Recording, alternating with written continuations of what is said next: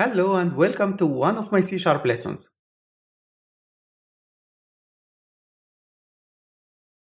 Our lesson today will be about delegates. Delegate may be a confusing term for programmers, however, once you get familiar with it, it will be easy. I will try to make it simple, clear, and understandable through this lesson. Here is the content of our lesson today. I will first let you understand what are delegates, I will then let you know when to use them. We will then see how to declare delegate types and how to create delegate objects. We will do together an example of a callback delegate. Finally, we will understand what the multicast capability of delegates is with some more examples. So let's get started. Delegates are a special type that can be used to call a method indirectly. Let's elaborate more. When you call a method in C Sharp, you simply type its name followed by its parameters or empty brackets if it hasn't. This is the direct call. You call the method yourself. You can alternatively leave this job for a delegate. So you will create a delegate object, then tell the object about a method you need to call, later on ask it to call it for you. I think it looks simple but vague. Why do I need to be in such situation? Calling methods is simpler. Yes, that's right. However, in some situations, delegates are required. So, when to use delegates? You may not know which method to call yet. You may need to decide later which method is needed to be executed, or it may be based on the application user selection. In such situations, delegates are your way of executing methods. Sometimes you may need to call code that does not exist in your application context yet, like firing an event. The method in such situations will be written by your class consumer. A delegate also allows you to pass method as a parameter to another method. Technically, you are actually passing a delegate object to the method. The method can then ask this delegate to call its associated method. You may need delegates also in asynchronous programming. You may need to invoke an asynchronous method to do some work and ask it to notify you back when it finishes the work. So you can provide a delegate object that this method can call upon completion. Delegates also has a feature of multicasting. This means that one delegate object can call multiple methods at once. This feature is important and you can even add or remove methods to the list of methods delegates can call anywhere in your application. Like other types, before start creating objects of a delegate type, you should first declare the delegate type itself. Delegate type is declared in a similar syntax of the methods, but without implementation. It must be also declared at the class level outside any method. We start the declaration line by the keyword delegate, followed by the return type. I will make it integer here. Then the delegate name, I will name it math operation after that, the brackets with parameters, types, and names. I will type here integer x, comma integer y. The line should end with a semicolon as normal. Like other type declarations, I can optionally add an access modifier to the beginning of the line. I will make this delegate as public. Delegate declaration signature must match the method being called by this delegate. The delegate I have just declared has a return value of integer type and accepts two integer parameters. So it can be only used to invoke methods with exactly the same signature. If a method has a different signature, I cannot call it with this delegate. I can of course declare another delegate type for different method signatures, one type per signature. Let's create some methods here with the same signature I will create add numbers method here by typing static public integer add numbers and between the brackets integer x comma integer y. I will write the implementation of this method as return x plus y. I will do the same with another method. I will call it subtract numbers static public integer subtract numbers integer x comma integer y. Here I will type return x minus y. Now we have two methods with the same signature as the delegate. Let's see how to call them using a delegate object. I first need to create a delegate object. I will create one here by typing math operation, add operation equals new math operation. Between the brackets here, the delegate constructor is expecting the target method name. I will type add numbers. This line has created a delegate object that can call the method add numbers. Till now we have not yet called the method. I can invoke this method by typing add operation, the delegate name, dot invoke, and pass parameters here, for example 5 and 10. Since this method returns an integer, so the delegate will also return an integer which will be the return value of the method invoke. I can simply write this value on the console by enclosing this call inside a console.writeLine. I will also add more descriptive label here, add numbers, call, result equals, then the value. Let's run the application now. Great, as you can see, 15 has been printed on the console, which is the result of calling the add numbers method with 5 and 10 passed as parameters.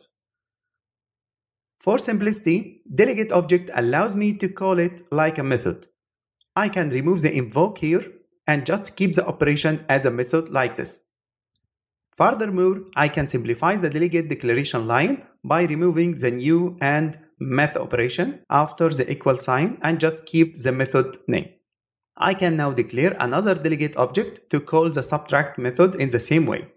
Math operation, sub operation equals subtract numbers.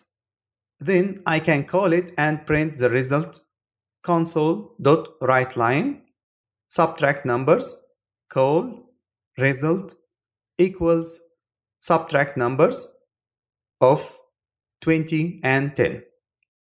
Let's run the application once again now. You can see the results. You can find the final project of this example in the folder named Delegates Basics in the repository named C Sharp Lessons in my account on GitHub. Let's see another example on using delegates to create callback method. I will assume here that I have a class that performs some work. I will create a new class in this project. I will name it worker. I will make this class as public. And I will create an empty constructor for this class for now. Let's declare a new delegate type that we can use for our callback method. I will declare it outside the class in order to be able to use in both classes. Public, delegate, void, so it will not return a value. I will name it callback delegate that accepts one boolean parameter named is success.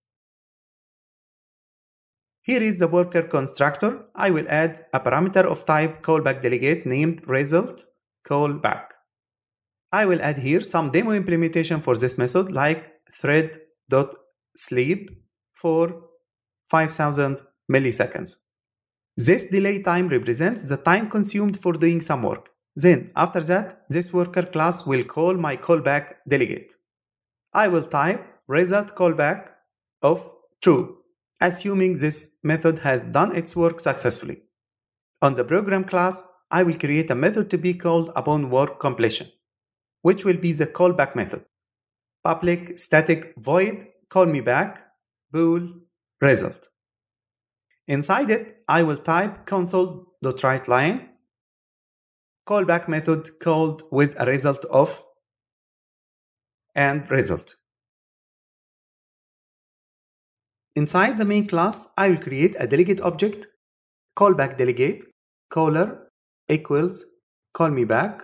Then I will type a simple message on the console console.writeLine calling worker.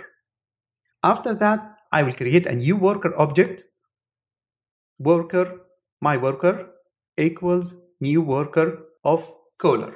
Now our example is ready. Let's review what we have done so far.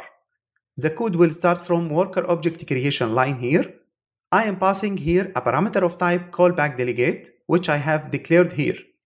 So the worker object is created and will do its work, which is represented by 5 seconds delay. Upon the completion of this work, the worker class will ask the delegate to call its method as a notification of work completion. Delegate in turn will call the method call me back on the program class. Let's see this code in action. As you can see here, after the 5 second delay, the method got called and printed this message. I hope this example has clarified the idea. You can find the final project of this example in the folder named delegates callback in the repository named C Sharp lessons in my account on GitHub. Let's talk about another feature of delegates. All delegate instances have a multicast capabilities. This means that any delegate can call not only one method but also a list of methods. We can use the plus equals and minus equals operators with delegate objects. I will create two methods here that are simply printing messages on console. Public static void method 1 console.writeLine this is method 1 and another method here public static method 2 console.writeLine this is method 2 I will declare another delegate here public delegate void printing delegate without parameters same as method. Inside the main class, I will create a delegate object printing delegate my printer equals method 1. Now, if I executed this delegate, it will call method 1. I will do this by typing my printer. Let's run the application now. As you can see here, the sentence this is method 1 has been printed on the console. If I wanted the same delegate object to call method 2 as well, I can do this by typing my printer plus equals method 2. Then I will call my printer once again my printer. Let's run the application now again. As you can see, the first delegate call caused the method 1 to be called, while the second call caused both methods to be called. I can remove also a method from the list of methods delegate will call in the same way. I will type here my printer minus equals method 1 and then again call the delegate my printer. Let's see the result now. As you can see here, the first call only method 1 has been called. The second call both methods have been called and the last time only method 2 has been called since I removed method 1 from the delegate call list. You can find the final project in the folder delegates multicast 01 inside the repository named C Sharp lessons in my account on GitHub. Let's see another example for delegate multicast capability. I will assume here that I have a worker class that do some work that takes long time to execute. It is a good programming practice that application user interface keeps user informed in such cases of long processing. So, I will create this long running method in a way to continuously report its progress. I need to display this progress to the user. I need also to do some action when the work completes. To implement this, I will have two different methods. One of them will be used to report the progress and the other will be executed when the work completes. In order to do this, I will pass a delegate object to the worker object and ask this delegate when executed to call both methods. Let's start creating this application. I will create a new class named worker. I will create a constructor for this class that's supposed to do the work. I will represent this work here by a for loop of 100 iterations for counter 100 and make the 100 inclusive here. Inside the loop, I will make some delay thread dot sleep of 50 milliseconds.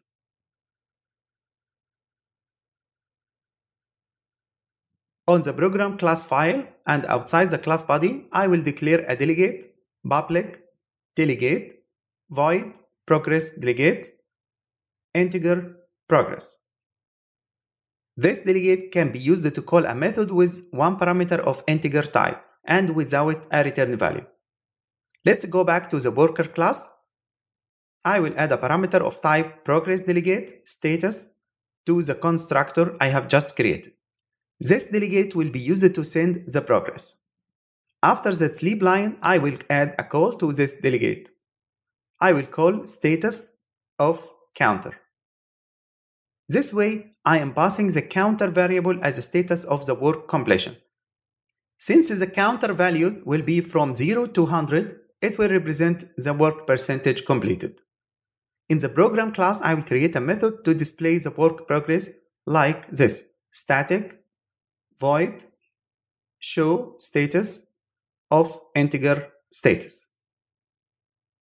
Inside this method, I will print the value of the status variable, which will be passed from the worker object console.write the value of the status, then the percentage sign. Since I don't want the numbers to be accumulated, I want each value to override the previous one. I will add backslash r to the right statement. This will force each printing method to start from the beginning of the same line and hence remove or override the previous value. I will create another method static void operation completed of integer status. I want to check here the value of the status variable. When it reaches 100, then the work completed and I need to print some message here. I will type if status double equals 100 console.writeLine job completed successfully. In the main method, I will create a delegate object that executes both methods and pass it to the new worker object.